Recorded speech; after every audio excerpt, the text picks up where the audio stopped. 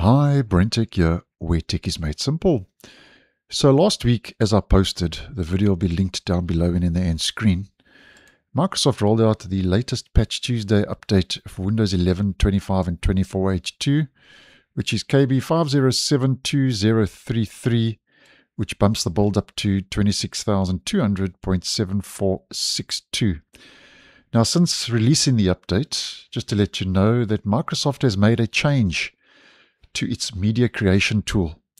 So if we quickly head over to the Download Windows 11 website, over and above the Installation Assistant, which helps you to immediately upgrade to Windows 11, or the Download Windows 11 ISO disk image, we get the Media Creation tool which helps with clean installs, in-place upgrades, or accessing advanced recovery options.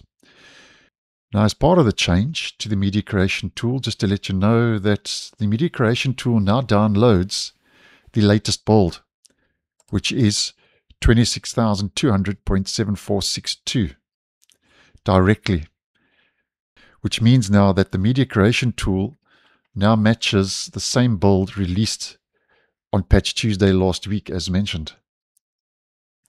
Now, something strange though is if we quickly head over to the media creation tool, which I have downloaded just before posting this video, you'll notice if I hover over the tool, it's still on version 26,100.7019, which was a previous build.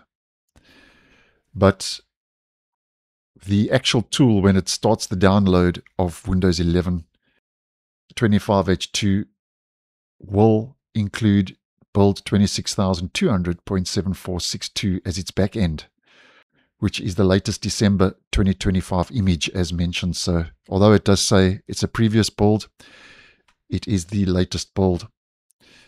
So if you are using the media creation tool, just wanted to make this quick video to let you know now that that basically is fully patched and up to date.